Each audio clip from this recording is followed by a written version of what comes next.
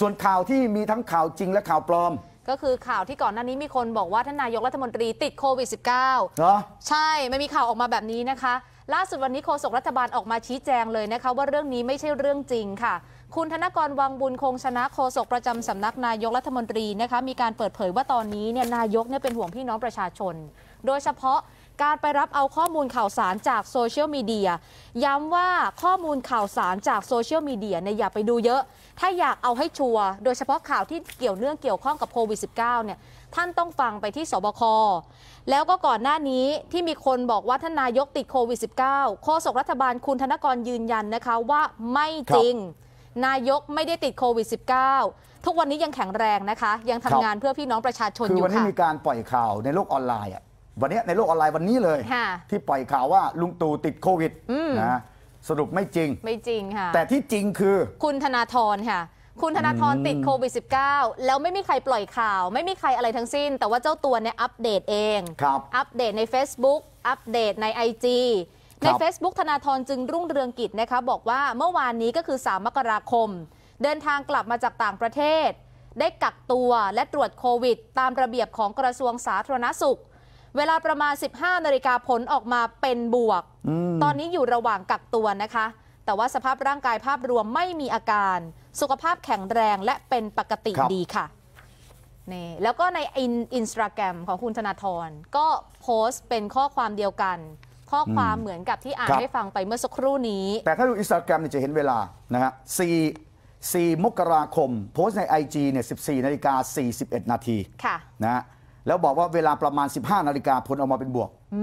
นะฮะคือเหมือนกับพอรู้แล้วปุ๊บก็รีบแจ้งปั๊บเลยใช่ค่ะนะฮะว่าตอนนี้ติดโควิด เพราะว่าผลเป็นบวก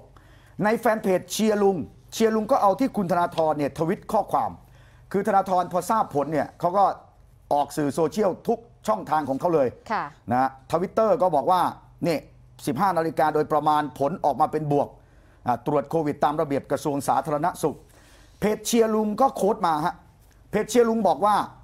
ขอบคุณรัฐบาลพลเอกประยุทธ์ที่มีระบบตรวจคนเข้าเมืองที่ดี ขอบคุณกระทรวงสาธารณสุขที่ออกระเบียบอย่างเข้มงวด และขอบคุณทีม ศบคทุกท่านที่ทำงานหนักมาตลอดนะฮะคือนักการเมืองเดินทางกลับจากต่างประเทศอะก็ต้องทำตามมาตรการค่ะสาธารณสุข จึงตรวจเจอไงใช่นะทางเชียร์ลุงเขาก็ขอบคุณมาตรการภาครัฐค่ะและคุณธนาธรเองก็ให้ความร่วมมือค่ะตามที่เจ้าตัวโพสต์นะครับอ่าเดี๋ยวติดตามรายละเอียดเพิ่มเติม ว่าคุณธนาธรอ่าจะมีการเปิดเผยหรือไม่ไปต่างประเทศไปประเทศไหนอ่าแล้วก็ไทม์ไลน์เนี่ยจะมีย่นมีย่อ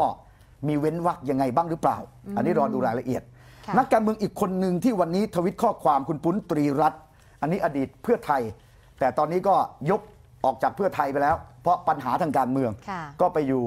เอ่อคุณหญิงสุดารัตน์เกยุราพันธุ์ค่ะวันนี้ทวิตข้อความครับ ใครบอกว่าฉีดวัคซีน 3 เข็ม 4 เข็ม แล้วสามารถป้องกันโอมิครอน ผมกล้ายืนยันไม่จริง ผมฉีดมาแล้ว 4 เข็มซีโนแวค2แอสตรา1ไฟเซอร์อีก 1 ตอนนี้ติดโควิด admit อยู่โรงพยาบาล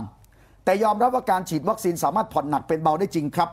ดูแลสุขภาพกันด้วยนะครับ กาดห้ามตกเด็ดขาด นี่ปุ้นตีรัตน์นะฮะค่ะอันนี้ก็นักการเมือง ทีนี้จะเพิ่มเติมข้อมูลก็คือว่า ที่ผ่านมากระทรวงสาธารณสุข บรรดาทีมหมอสบคทุกคนพยายามชี้แจง แนวทางนี้แหละครับ บอกว่าไปฉีดวัคซีนเถอะค่ะวัคซีนที่รัฐจัดหาให้ ยี่ห้อที่รัฐจัดหาให้ผ่านการพิจารณาได้มาตรฐาน วัคซีนทุกชนิด ไม่ได้ป้องกันติด แต่ป้องกันป่วยหนักและตายค่ะถ้าย้อนกลับไปนะค่ะหมอยงก็ดีใครต่อใครเขาชี้แจงแนวนี้มาโดยตลอด แต่ว่ามีคนบางกลุ่มที่พยายามปั่นค่ะถ้าจำกันได้พยายามปั่นต้องวัคซีนเทพเท่านั้นใช่จำได้ไหมครับ